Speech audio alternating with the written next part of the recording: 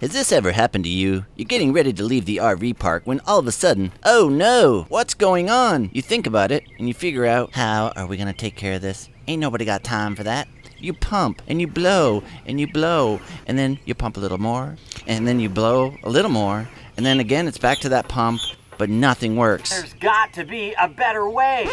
Okay, okay, okay. I realize that was a little much. We actually do not need some crazy infomercial to talk about the Viair compressors, which is what I want to do today. But it is a super important topic because your tires are what gets you from point A to point B and if they're improperly inflated you could run into issues uh, up to and including blowouts which are never any good to anybody. First, what we're gonna do is we're gonna talk about tire pressure itself, and then we'll get this bad boy opened and get it checked out. One of the mistakes I see a lot of people make is they read the tire pressure on the side of their tire. They get that cold rating pressure and they just fill their tire right to the max and that is not always the case. Although I did find out today that on Vic and Tammy's big Super C that the weight rating on the sidewall is almost exactly what they put in the tire. So the 120 PSI rating is actually 110 on the front of theirs and 120 on the rear. So we're gonna take a quick look at the sidewall of my tires and then we'll talk about the calculations that the manufacturers use to get you the exact weight rating for your vehicle. So let's take a look at that now. We're gonna come in here on the tire and we're gonna turn this so it fits the camera better. And you can see here it says max load single and it shows 120 psi cold max load dual and it shows 120 psi cold but it shows a weight rating there and so we're going to do some simple math with this weight rating and show you approximately how the manufacturer gets your your psi rating for your particular tire. So as you see on the sidewall of our tires it actually shows the cold rating, the max cold pressure at 120 PSI. That is not what we set our tires to. We go off of the manufacturer's recommended tire pressure and we get that on the driver's side wall on the inside of our coach. It might be different in your coach or you may be able to get it from your coach's manufacturer's model guide. Either way, you want to get your tire pressure from your manufacturer rating not exactly from your sidewall because they may be different. And as you can see in ours, it is 80 PSI all the way around, both on the front singles and on the rear duals. So we actually run a little bit more in the rear and the exact amount in the front. And I'll talk about that here in just a second when we get inside of my computer. On our motorhome, the recommended tire pressures are on the sidewall right next to the driver's side seat.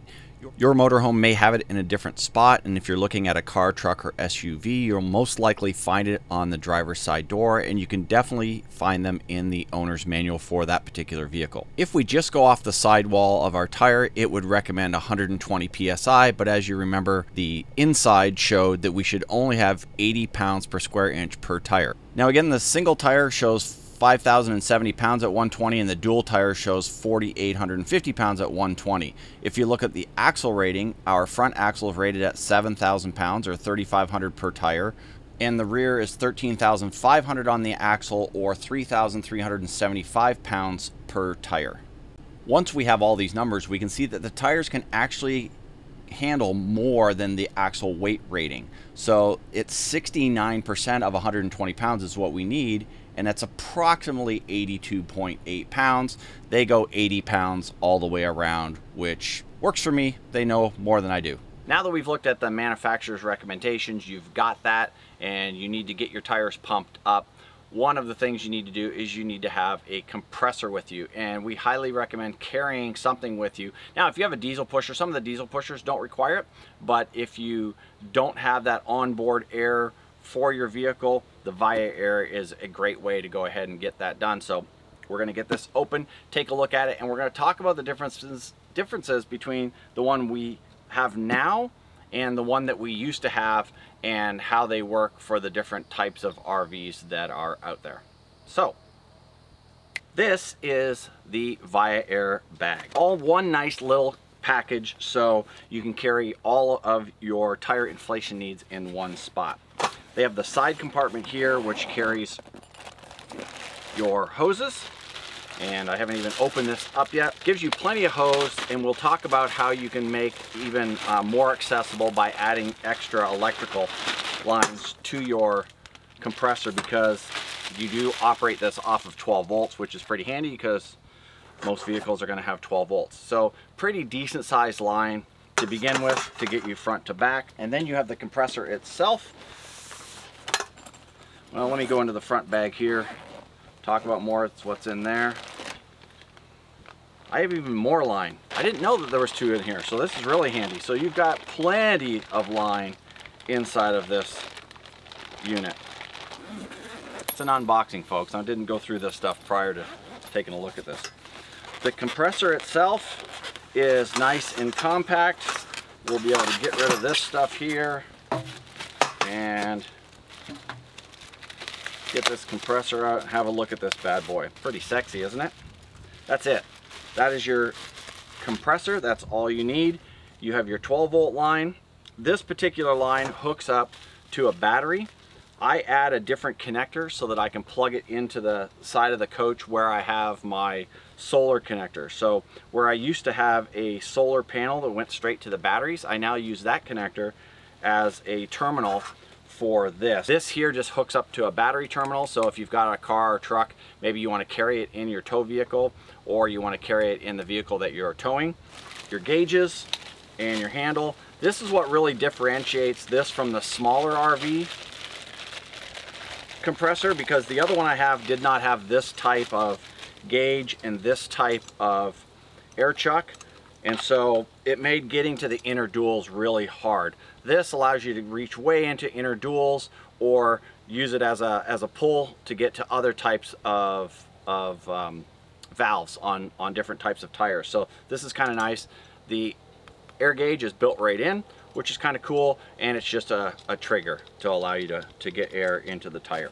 It also comes with some extra filters and things like that because there is an air filter inside of the, the compressor itself so you can change out the air filters that are in here and keep your compressor running running really well. Even with as much as I've used this, I haven't had to change the filters out in this so they should last you a super long time. Shouldn't have a problem with that. You do have to add your filters, your filter holder to the compressor so I recommend putting a little bit of tape on the threads, a little bit of thread tape on there so that uh, you don't have any air leakage and I highly recommend that you have this stuff ready before you do camera.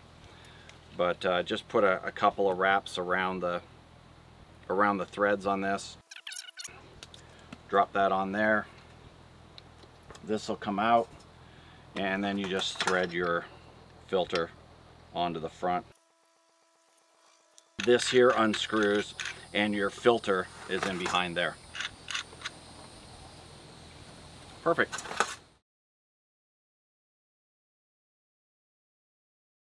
For demonstration purposes, we're going to hook the new one to the battery so that you can see it's quick and easy. It doesn't take a lot to do that. Red's going to positive, black's going to negative. Always make sure that your battery connections are done right before you set up. If it's not, you'll find out in a hurry. So it's as simple as dropping your negative connection on there first. Then you drop your positive connection on.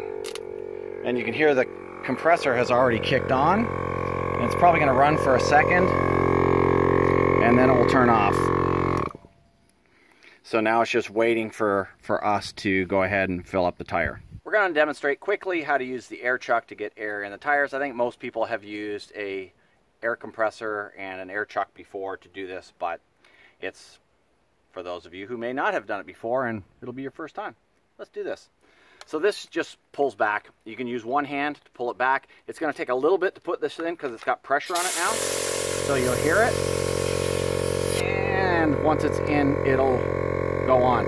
Now, it's easier to do that if you don't have air already in there. So I recommend really putting this on before you start the compressor up so that it's a little bit easier to do that. And after you've done it a few times, it'll be really easy. Now I have the caps on the tire for the TireMinder. So we're gonna pull those off You can hear a little bit of air escaping and I'm to try to do this without dropping it down in there, which is really annoying. But then it's a matter of just dropping this on here and you can check your air. Right now we're at just under 90 and we want to be at 90. Just squeeze the trigger and we're at 90. I'm going to go to 92 because I know when I screw this cap on that I'm going to lose a little bit of air. That's it. That's it. That's all you got to do. Then you're going to put your tire cap back on, whether it be a, a TireMinder or EezTire or whatever it is, or maybe you just got regular valve caps. Uh, put those back on and you're good to go. The Viair makes it super easy to do this while you're on the road. Before we wrap up, let's go over a few specs of this amazing tool. And this particular one, the 450P, is for larger class A's. I believe they have a 300P and a 350P and maybe a 400P. I don't know for sure. If I am wrong on that, I'll put that somewhere here in the video, but I'm pretty sure they have all of those. They're all RV specific, but the 300 and 350P are for the smaller RVs, like I said, a towable or something like that. Uh, work great for Class Bs, cars, trucks, motorcycles, things like that. Now this particular one will fill up to 40 inch tires and up to 150 PSI is the, the max, I believe. So it says on the box, yes and the automatic start and stop is really kind of nice as well so the thing just doesn't constantly run all the time it'll get you more than enough air you can do all of the tires on your vehicle and this thing isn't going to tire out because it does have 100% duty cycle as well which means that it, it can run for a long period of time before it gets hot and needs to take a rest. As I mentioned before this also comes with the accessory pack here that uh, allows you to attach other uh, filling things. It's got a ball attachment and a couple other little small fillers to fill up other inflatables, whether you have beach balls or kayaks or I don't know what you guys are inflating. I don't judge, so that's all on you, but it does have the ability to blow up other stuff. That is the 450p Viair works fantastic. For more information on the Viair 450p and other compressors, the links are in the description below.